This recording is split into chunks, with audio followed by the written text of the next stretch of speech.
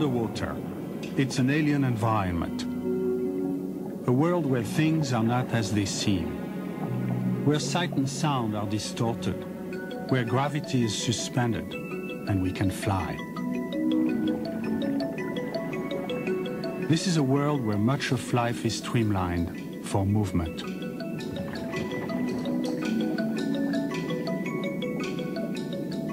At best, we're only brief visitors here. Water is 800 times more dense than air, and we are obliged to move differently, to test ourselves and to observe, without disturbing, the choreography of the living reef.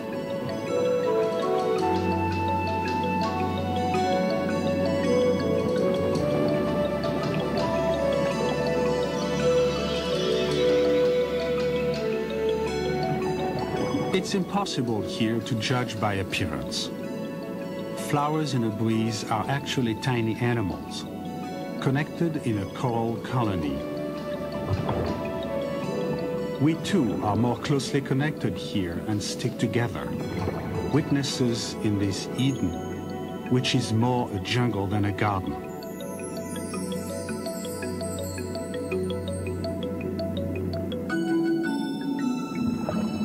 Sophisticated equipment allows us to visit this exotic place. But each breath reminds us we are in another world.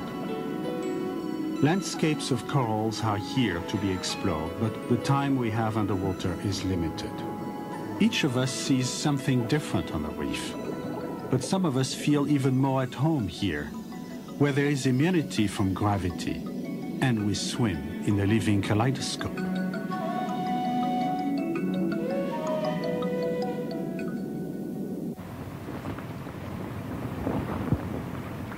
But soon we return to air and sun, and to Alcyon, our prototype windship, with its experimental turbo sails designed to save fuel.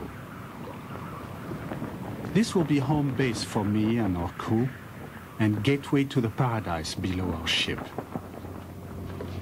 I'm Jean-Michel Cousteau. Join us on a Cousteau Society special report here in Fiji with some very special people. The first to explore underwater with true freedom of movement was my father, Jacques Cousteau. Millions of people now hear his name and think of his adventures underwater and his commitment to protect and preserve the planet. But few people know that my father's life was forever changed by a nearly fatal accident that left him broken and paralyzed. It was a frightening beginning to a fabulous story. Gilles, tell me what happened. Oh, Jean-Michel, it's a very old story. I was just coming out of the French Naval Academy, and I uh, went to the flying school because I wanted to be a Navy flyer. When I had a terrible automobile accident, and I almost lost my life, uh, I got my two arms uh, damaged, this one broken in several places, the other one paralyzed. Uh, and then I went, uh, I found myself in a hospital bed with the right arm paralyzed, left arm operated and in a plaster, an infection coming and installing itself in my left arm, and the doctor looking at it and saying, uh, it would be safe to amputate you. And I said, no way. I don't want to, I already have a paralyzed arm on the other way. I don't want to lose my, both my arms. I prefer to take the risk. He thought I was crazy, but it worked. So my story is very simple. I wanted to be a flyer, and I became a diver. So this accident changed completely my life. And uh, I am very lucky because I find underwater about the same kind of feelings that pilots uh, feel in, uh, in the air. Uh, and I experienced this wonderful uh, weightlessness that divers have. My father never became a pilot, but his dreams of flying came true underwater, where he was free from gravity. Now millions of divers find freedom below the surface, including the divers we're about to meet. We're going to escape with them to the reefs of Fiji to explore the undersea world my father first entered 50 years ago and to celebrate diving. The people now arriving here at Savu Savu Airport are from six different countries. They will explore together Fiji's second largest island, Vanua Levu.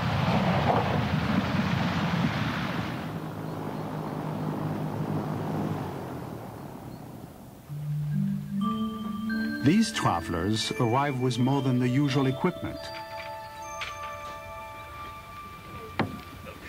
All of them have suffered some loss of physical abilities, which limits their movements or confines them to wheelchairs. Through accident or illness, they must contend with ordinary events in extraordinary ways. Okay. Thank you. All right. Trained by organizations like the Handicapped Scuba Association, they are all experienced divers. They arrive well prepared and with spare parts. For this group especially, a vacation is more than getting away from the office or out of town. Their vacation is an escape from gravity itself. They are part of an international program designed for people with permanent disabilities. They travel far from home, but the greatest distance traveled is the inner journey each of them has already taken. They are soon to explore some of the most beautiful dive spots in Fiji, a nation where only 3% of its territory is above water. Many of them never expected to be here. For some, their lives were changed by a sudden traumatic accident. In the US alone, there is one disabling spinal cord injury every hour. The difference between a wheelchair and walking is perhaps only a brief moment of chance.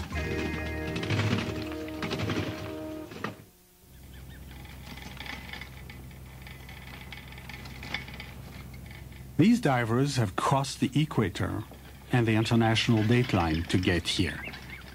Now a warm sea is before them.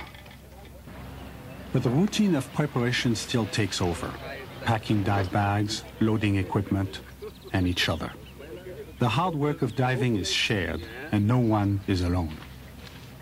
Each diver is matched with a specially trained instructor, and as buddies, they share a close bond. On land, all this effort seems like a lot of trouble for just a brief time underwater.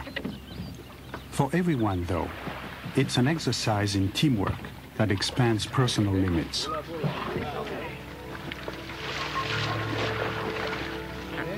These divers, however, are about to leave many of their limits behind.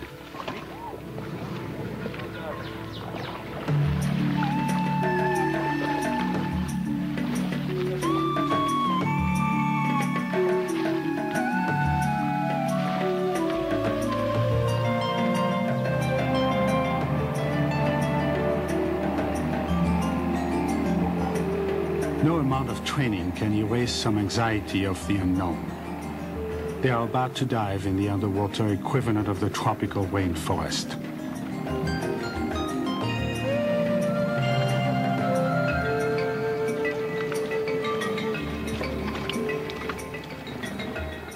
These last moments before diving are critical.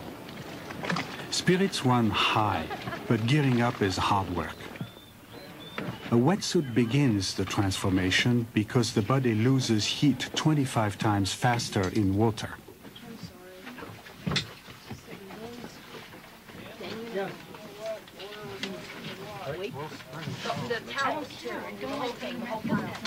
To fly underwater requires, ironically, not wings, but lead weights which equalize the buoyancy of water and wetsuit.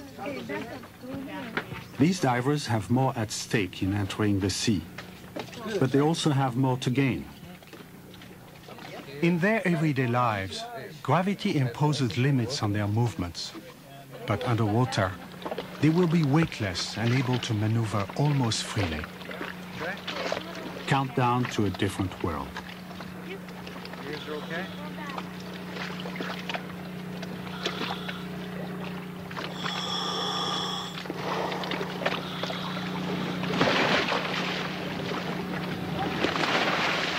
The barrier is broken.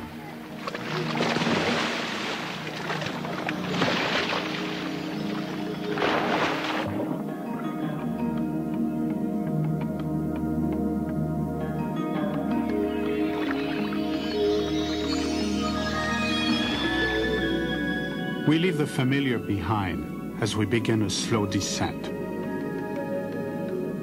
Even at only 33 feet below, we are under twice as much pressure. So buoyancy is fine-tuned and final checks on equipment are required.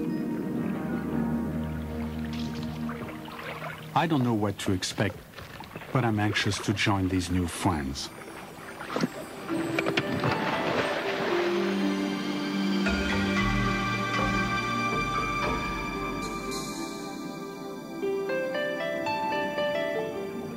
Although coral reefs grow only one centimeter per year, they are the largest structures made by any living thing.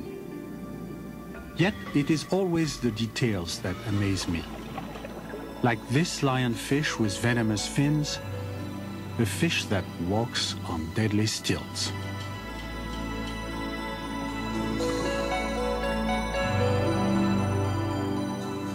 The structure of the reef grows to become this underwater metropolis, a city populated with characters like this yellow damselfish. The white film of her eggs, wrapped around wire-like coral, is the focus for this damsel in distress.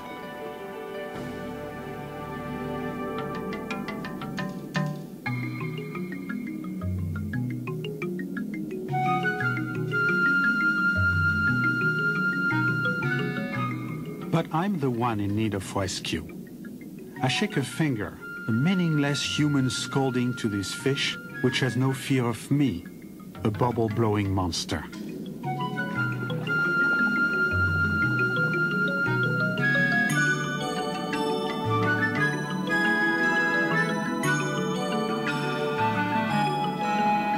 An intruder is an intruder to a creature so committed to protecting its own future generation.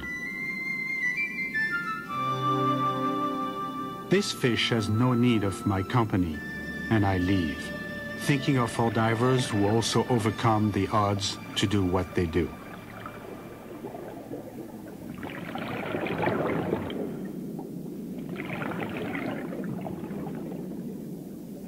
A few years ago, no one believed that someone with a physical disability could ever scuba dive. But careful and hard training, sound health and determination have enabled these divers not only to dive, but to set certain standards for sane behavior and for close but benign observation underwater. Diver Julie Perez knows. I'm doing something that most people are afraid to do, and I'm successfully doing it, and I'm doing it with, with other people. It's, there's a lot of things I can't do, but I can dive, and that's a lot. They are in close communication with their buddies. They achieve neutral buoyancy and move through the water with minimum effort, in slow motion liberty, aware of what's around them and of each other.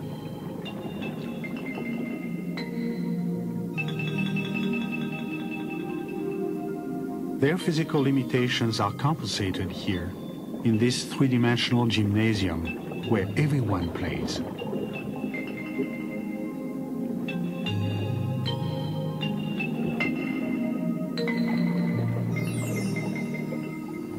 Instructor Denise Dowd has seen what diving can do. I think what's um, exciting about working with the disabled is seeing people going beyond their disabilities and out there challenging things that a lot of able-bodied people are afraid to try. Uh, scuba diving, I think, is a, a difficult sport for a lot of people, and for someone who's disabled to be out there scuba diving and doing as well, or even better than an able-bodied person, can be a real ego builder, uh, building self-confidence and, and self-esteem.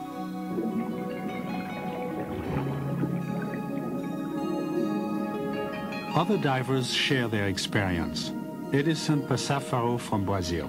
Ah, eu me sinto super bem. super legal em, em poder mergulhar hoje. I feel fine. It's wonderful in being able to dive now. It's an additional motivation, a sensation of freedom, something that's stimulating to discover super interesting things, a new way of being able to face life. Terry Luxemburger. I had polio when I was four years old, and when I got into my late 20s, uh, the HSA Handicapped Scuba Association uh, started their program, and instantly I was attracted to it and I haven't left it since. On land, there's gravity, and it restricts your movements, and it really prevents you from being yourself in a lot of in a lot of physical ways. When you're in the water, there is no gravity. There's no feeling of being exhausted or worn out, and you can see what Mother Nature has to offer. Mother Nature offers surprises, like clownfish living in the tentacles of an anemone, an animal that captures and kills other fish. Yet these clownfish make it their home. The anemone protects the clownfish, and the clownfish brings food to the anemone in a symbiotic relationship called mutualism, where both benefit, linked for a lifetime to a small patch of the reef. Unlike these fish, we are free to wander, to explore. Diver Michelle Galler explains it for herself. Diving has changed my life in that it got me back into the water and it has inspired me to travel to places I probably wouldn't have traveled. It's just um, broadened my horizons.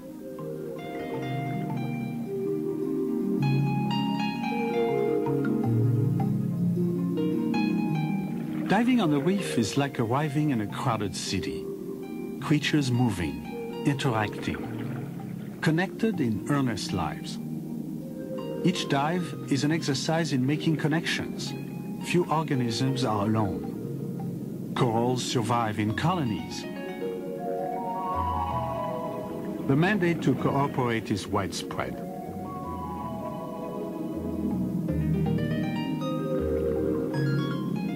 Jim Gatacre, the president of the Handicapped Scuba Association, knows. When I realized that people with disabilities more severe than mine could do uh, scuba diving and got involved in actually training people.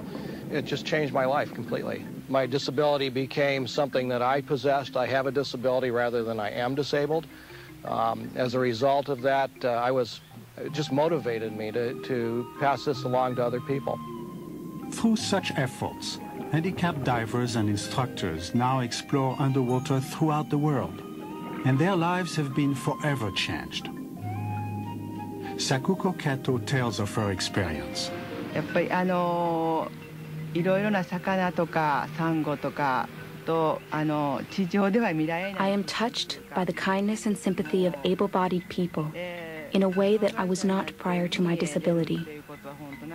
And the ocean is the only place where you can see these beautiful fish and different corals.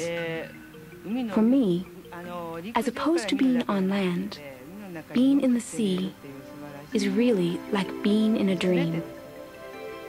The reef we visit is not a dream, but it is fragile. Coral reefs cover a minuscule two-tenths of 1% of the world's oceans, but they contain its most abundant and diverse life. We are actually swimming through a liquid laboratory, full of age-old experiments that are forever new. In the 50 years since my father first entered the sea, We've barely begun to understand the true nature of what we encounter, such as these plate-like corals, animals which must capture sunlight for the tiny plants that live within their tissues. Now we too are part of the experiment, exploring, probing, and learning that it's perhaps not nature we need to control, but ourselves.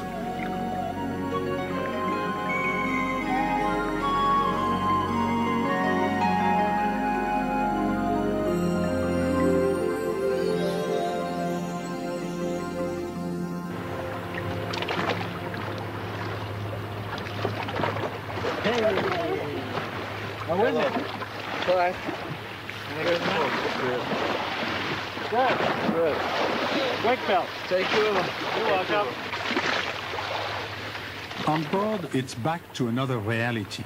and the six different languages of our group. But it doesn't matter. Here, in our own mini United Nations, the language of diplomacy is laughter. Great. How do you say it in Russian?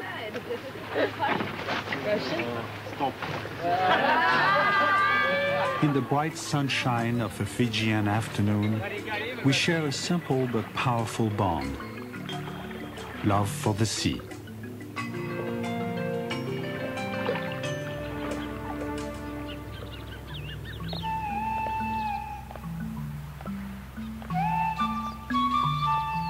The freedom of being underwater carries over to the rest of our daily lives, as diver Pavel Delopov from Moscow describes.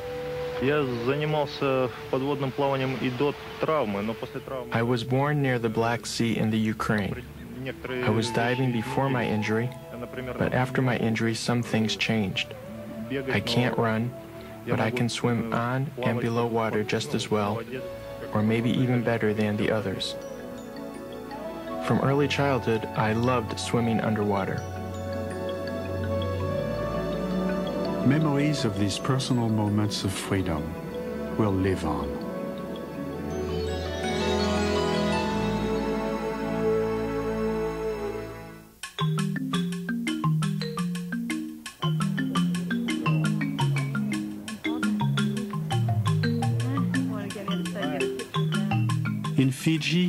The villages and the coral reefs are closely connected. Each village grants or refuses permission to dive its reefs. So we visit Nandi village to say thank you and to share our different points of view. So how are we doing today? Okay. You're looking forward to your dinner? Try. Go ahead. Push it. What's your name? Edward?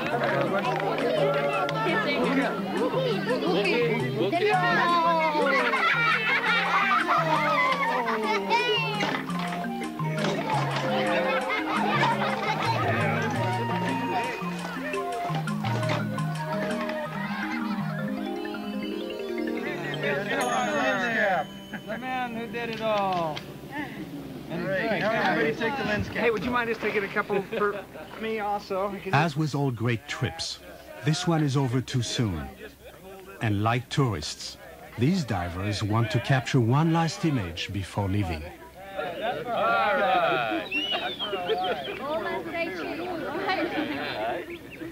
The